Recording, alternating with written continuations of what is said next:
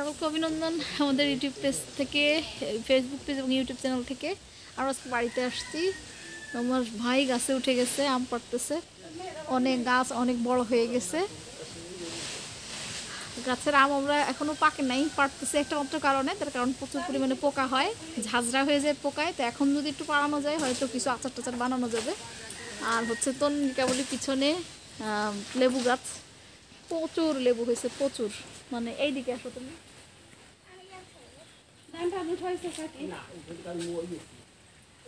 এই যে দেখেন। এখন আমার তো মনে হচ্ছে আমি এইখানে এসে বসবাস করি।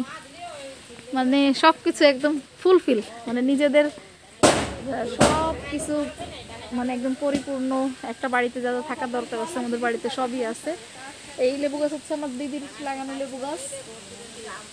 আর এই পাশে একটা আম গাছগুলো দেখাও তুমি প্রত্যেকটা আম গাছে কম বেশি আম আসছে।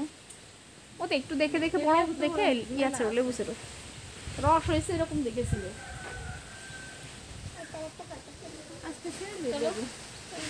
নিয়ে যা ফ্রিজে রাখলে তাতে তো